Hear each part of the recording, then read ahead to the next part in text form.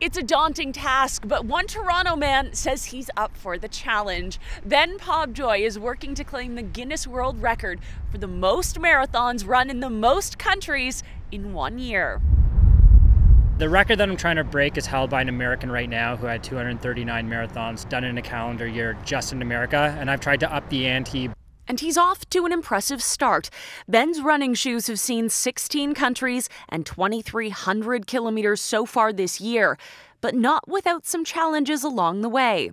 I landed in Peru during the state of emergency. I did an ultra marathon through the Galapagos with like tortoises and sea lions. Got robbed by the cops in Mexico City and then about 10 days ago got hit by an earthquake in Saint Martin. That's why the Toronto native always carries a satellite device along with all of his travel supplies while he runs.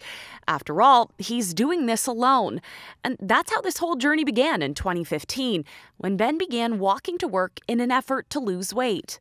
And then it just became this kind of like Forrest Gump story where like I never stopped, I always kept going and became interested in how far I could go. And I think like my message to everyone is like, you know, it sounds corny and it's not intended to be a pun, but it's like if you take a single step uh, and make some tiny lifestyle changes, you'll really be surprised where you can like end up. And I hope I can be testament to that to people.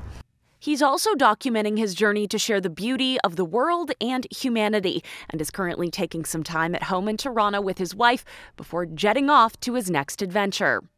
So, what's up next for Ben? He's heading to Africa and then the Middle East, and you can keep up with his journey at benpobjoy.com. At Sunnyside Beach, Michelle Mackey, City News.